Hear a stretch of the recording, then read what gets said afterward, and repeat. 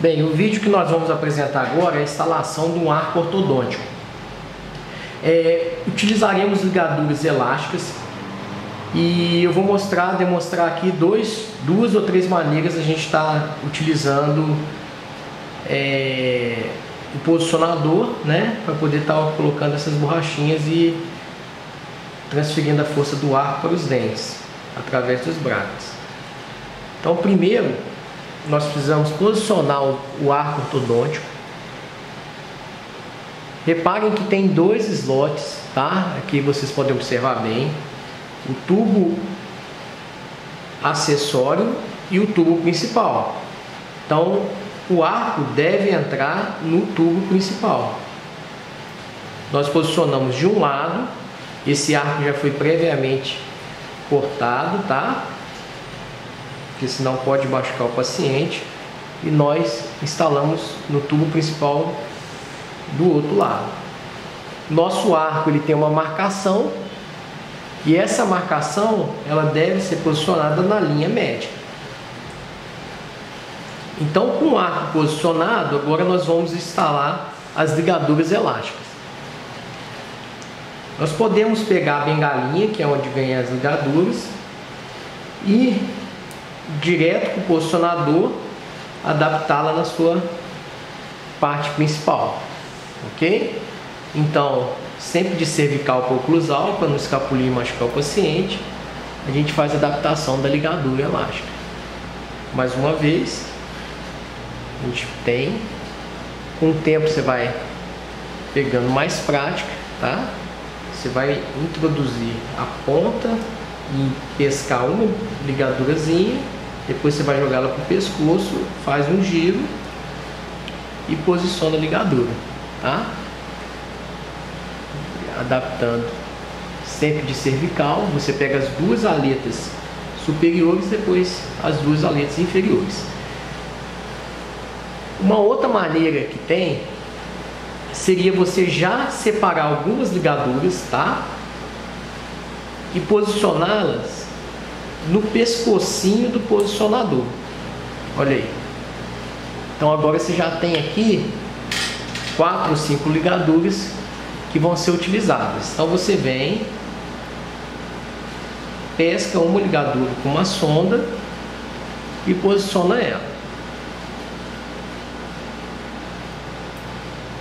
tá? Esse jeito é um pouquinho mais, é, vamos dizer assim, seguro, porque você evita de ficar manuseando a bengalinha e evita o risco de contaminação, tá? Então você vai lá, pesca uma ligadura e coloca no dente, tá? Essas ligaduras para remover, a gente mesmo mesma forma, dá a parte oclusal a gente pesca a ligadura, desencaixa as duas aletas inferiores, tá? Estica a borrachinha e tira as duas aletas superiores. Sempre primeiro na oclusal para evitar de escapulir o instrumental e machucar o paciente. Mais uma vez, ok? Então pronto. Agora no meu consultório, como eu trabalho com uma é, auxiliar, o que, que eu faço? Eu já peço para ela separar a quantidade certa que a gente vai utilizar no ar, então ela já me dá esse posicionador com duas cabeças, tá vendo? Que ele já vai estar tá com 10 borrachinhas em média, às vezes ela coloca um pouco mais, para se caso escapulir alguma. Para quê? Eu evito manusear essa bengalinha. E aí, como a minha secretária está com a luva que não foi é, na boca do paciente, não teve contaminação, então essa, essa bengalinha fica só em manuseio dela. Então eu fico apenas com essa com esse posicionador já com as 10 borrachinhas para cima e 10 borrachinhas para baixo. Então aqui eu vou posicionar já o arco inferior do mesmo jeito. Ah, a gente vai colocar no slot principal de um lado e de outro, tá? Pelo amor de Deus, gente, já vi muito caso aqui no consultório com no slot acessório. Isso vai causar uma extrusão do dente. Intrusão na né, vestibularização dos premolares. Atrapalhar a sua mecânica. Então aqui já está os dois arcos posicionados, superior e inferior. Então agora falta só ligadura. Nós podemos estar fazendo de forma individual, pescando uma ligadura de um lado e uma ligadura do outro, tá? E aí você vai, instala uma ligadura no dente. Às vezes o ganchinho você passa sempre pelo ganchinho primeiro e no outro. Eu prefiro já pescar duas ou três borrachinhas. Como é que a gente faz isso? Você pega uma sonda, separa três borrachinhas, estica as três e pesca as três ao mesmo tempo. Deu para ver? Isso. Do outro lado a mesma coisa, tá? Você separa três borrachinhas, três ligaduras, tá? Estica e já pesca as três. Então a primeira eu coloco nos dentes que não tem ganchinho, tá? No caso aqui o incisivo lateral. Pronto, já passei uma ligadura nele. Aí as outras duas a gente pode estar tá utilizando os de ganchinho, que não fica mais fácil. Você passa pelo ganchinho, dá uma pescada pelo ganchinho da borrachinha e passa as duas aletas inferiores. Sobrou uma individual, mesma coisa, tá? Então aqui, ó, você passa uma anterior e uma posterior. Dessa maneira você ganha tempo de trabalho aí, tá bom? Então vamos lá, mais três. Mais três também desse lado. E agora a gente vai dar uma acelerada.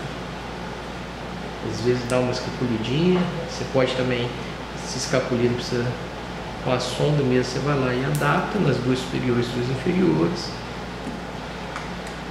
Vamos para a inferior, tá? Quando tem três eu gosto da primeira, utilizar os braques anteriores, são mais fáceis. Depois as outras duas eu utilizo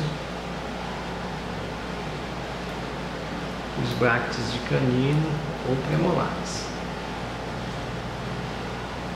Mais três aqui. Esse aqui está sempre escapulindo três daqui.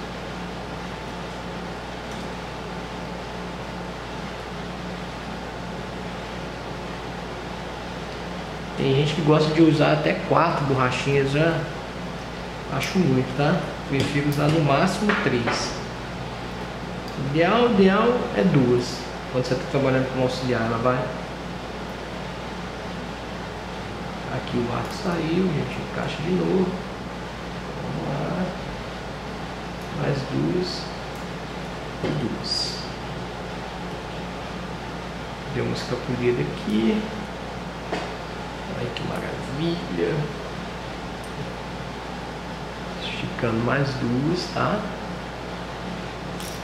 Para finalizar, eu acho desse jeito um jeito bem bacaninha, tá? Tá aí a borrachinha verde, em homenagem ao Fluminense. E a gente fica por aqui mesmo. Espero que vocês tenham gostado. Abraço.